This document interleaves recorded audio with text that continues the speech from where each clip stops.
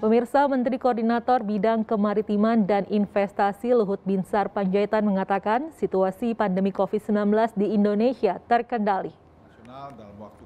Luhut mengatakan kasus harian COVID-19 turun 97 persen dalam dua bulan terakhir atau saat puncak kasus Omikron. Sementara kasus aktif turun 83 persen dari puncak kasus atau berada di bawah 100 ribu kasus. Tingkat rawat inap rumah sakit juga turun 85 persen.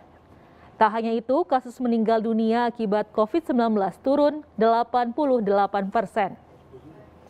Nasional dalam waktu kurang dari tiga bulan, ini kasus harian telah menurun sangat tajam hingga 97 eh, persen dari puncak kasus yang disebabkan oleh varian Omikron.